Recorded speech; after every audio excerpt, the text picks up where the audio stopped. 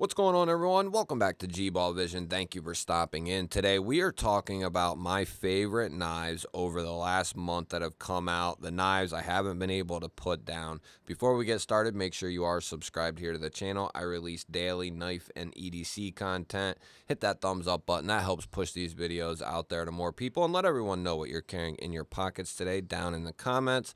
Love hearing from you guys and what you're carrying for the day. So one of the first knives up on this list is easily, and I mean easily, the new Kansept Link. From the moment I unboxed this knife, it has remained in my pocket or at my desk here the entire time, and that is impressive. Uh, just you know, from checking out so much stuff and different stuff, you try to carry different stuff, you know, as often as you can. But every now and again, there's a knife that really catches you, and it's something that's very hard to get out of the pocket. And for many reasons, this knife has remained in my pocket. I love this blade shape, this harpoon, lower tipped, dual ground, Tanto blade coming in 20 CV. We have dual thumb studs, and a front flipper for deployment. The detent is snappy as all hell. You have the cutout there as well. And then this beautiful gecko camo carbon, some of the best looking stuff on the market. Then we have a blackwash titanium lock side with a blackwash titanium backspacer and milled clip. I love the size of this knife. It's a good mid-size knife. You got that full 50-50 choil area there. Ton of control, pinpoint precision with that tip, and it's just it's a slicey monster right out of the box. Extremely fun to carry, extremely flashy. The link is one of my favorite knives of 2024, let alone the entire month. Now we're talking about the Artisan Cutlery Wizard series. I don't care which version, which model. I've handled two of them, and they are extremely, extremely well done. Artisan is really putting the pedal to the metal uh, over the last couple of months with some of their newer designs. And this thing, I love, love this thing. I have not been able to put this knife down. Uh, we have a sand washed or sand polished S90V drop point blade. It is absolutely stunning.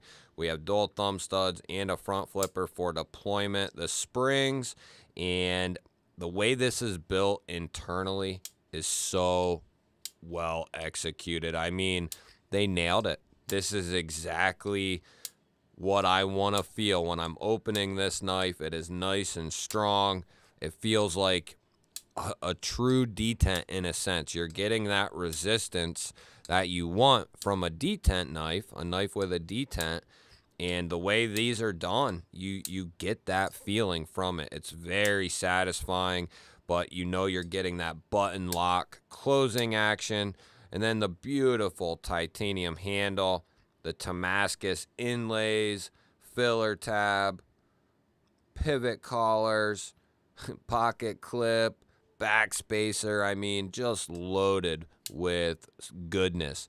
I think they have a full Damascus handled version. They have another version that's titanium and carbon fiber inlays. Beautiful Arctic Storm. Uh, big, big fan of the Wizard series. This is up on Kickstarter right now. I will have all these knives linked down in the description if one catches your eye. But the Wizard series is currently in Kickstarter phase, but they will be available very soon. Not that you'll be able to get one uh, because I think they are going to sell out whenever they come out very quickly. This last month, actually, or so, has resulted in some of my favorite knives of the year uh, up in those categories. And another one of them, one I haven't been able to put down, is the new off grid knives Mamba V3. This thing is absolutely stunningly good. Love the size of this. This is a full size knife, no question. The largest Mamba to date. We're looking at Bestech for the OEM on this thing. MagnaCut for our steel choice, done at like 63, 64. Beautiful gray. I don't know if it what finish that is. It's some sort of gray. I don't know if it's a DLC finish or PVD. I'm not sure what they're classifying that as, but it looks good. And in my experience, their finishes hold up very well. We have a full titanium handle here with this really cool honeycomb type pattern done. It's very, it's grippy, but it feels very good in the hand. You have it on both sides. We have a beautiful mill, mill, uh, titanium rollover clip, titanium backspacer, good access with a chamfer to that lock bar. The action is phenomenal. The closing action is extremely smooth and well controlled. This knife's still breaking in. Love that. Chainsaw jimping is what I call it because it works very well and it kind of looks like that, but functions very, very well. Love off grid and love the Mamba. Next up, we have the Liong Mah designed Eutectic Trinity. Uh, this is a knife that I have not been able to put down. I love the size of this thing. Everything's really nicely finished, and this is a more budget ended knife coming in well under a $100. We're getting 14C for our steel, a nice stonewash finish. We have that large cutout. We have the large finger choil, front flipper, and rear flipper. Detent is nice and snappy. We have textured G10 handles, nice deep carry steel rollover clip that'll be reversible. Good access with a chamfer and jimping. Nice row of jimping into fine jimping here. Just a well executed, well thought out pocket knife from Liong Mah and that's your chance to get an affordable Liong Mah opposed to his higher ended stuff. Next up, we got a crazy one. Uh, this is the Daily Carry Co. Mag Blade 2, and I've been carrying this for one reason and one reason, well, I guess I can't say one reason, one reason only, but because I'm trying to master this thing. And although it might not appear like it under the camera here above the desk.